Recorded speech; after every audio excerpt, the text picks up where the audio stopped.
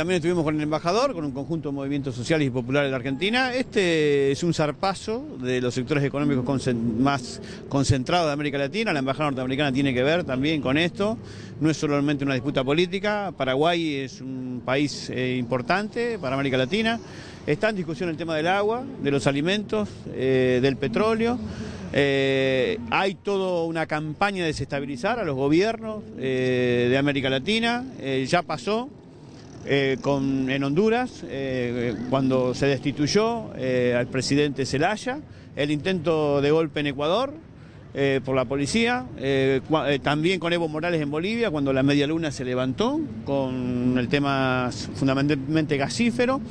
Eh, y el intento de guerra entre Venezuela y Colombia con la intervención de Néstor Kirchner y todos los presidentes de la UNASUR tratando de generar, llevar la paz a esos pueblos. Es un grave retroceso, no solo a la democracia, sino al proyecto de los pueblos del sur eh, que están creciendo, y lo están haciendo resolviendo problemas de empleo y sobre todo respetando los marcos democráticos. Así que mm, la verdad que venimos en solidaridad con este pueblo.